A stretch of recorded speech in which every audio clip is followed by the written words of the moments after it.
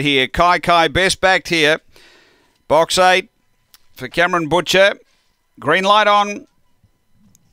We're set to go. Ready here at Angle Park. They're right to run. Set and racing. Pace coming toward the inside. Just Alfie Musters getting a run through it out deeper. Kai Kai pushing on.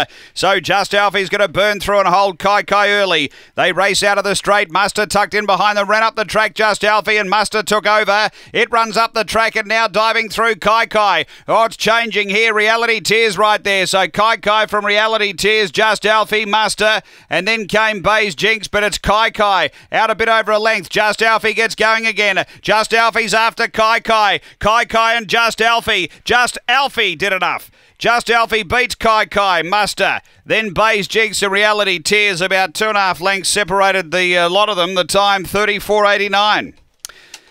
After the running of uh, race number four, interim numbers there two, eight, one, and six. Number two, the winner, which is Just Alfie for Lauren Harris.